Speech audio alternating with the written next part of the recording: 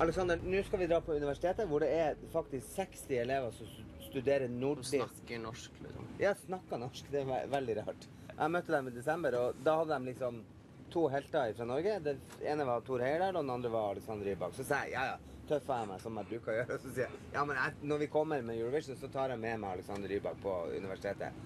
Og da visste ikke jeg om du kom til å være her eller ikke. Selvfølgelig. Selvfølgelig. Og nå gjør jeg det. Så skal vi se hvordan de kommer til å reagere. Jeg tror de kommer til å bli litt stum. For de er veldig beskjedne. Det liksom egentlig. beskjeden og jordnære sånn som meg. Ja. Ja.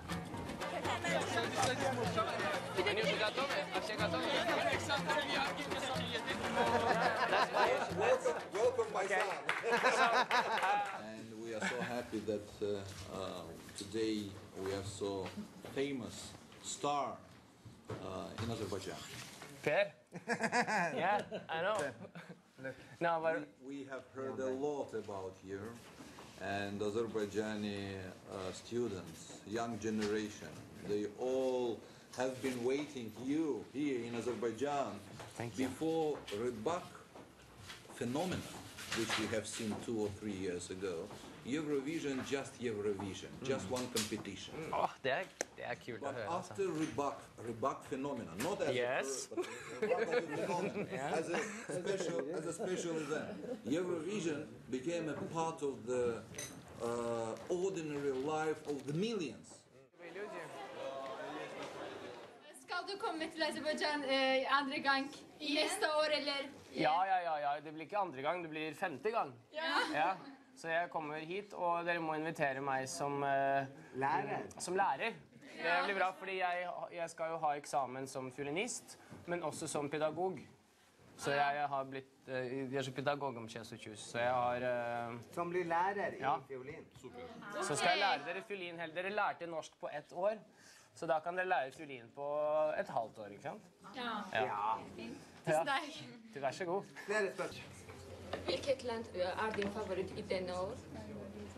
Jeg, jeg ble veldig Altså, det var Etter at uh, Russland hadde sunget Babushkane, så så når jeg reiste meg opp fra stolen, så var den veldig våt da, altså. Så det, det var uh, Come on and dance. Ja. Come on and dance. Det var Men det var feil bra, altså. Men det var feil svar, Alexander. Hva sier du? Hvem er det som vinner Eurovision i år?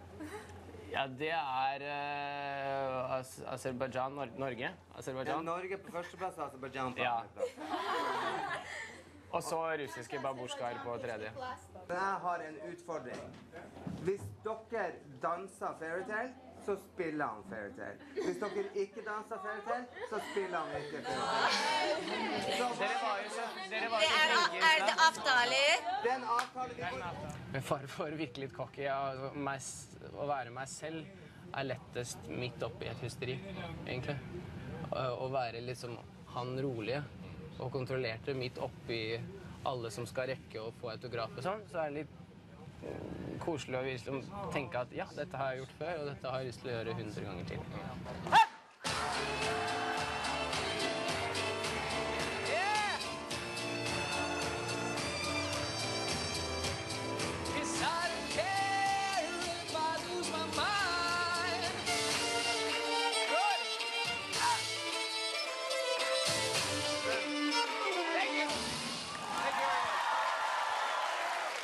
Thanks.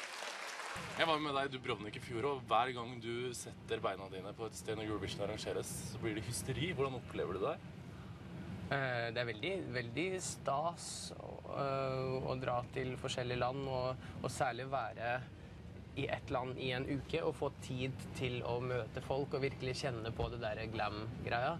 Det er veldig, særlig nå som jeg egentlig har blitt sånn eh, studentnerd som øver i fire-fem timer hver dag, så er det litt deilig å bli minnet på at ja, jeg har denne glam-siden av meg òg.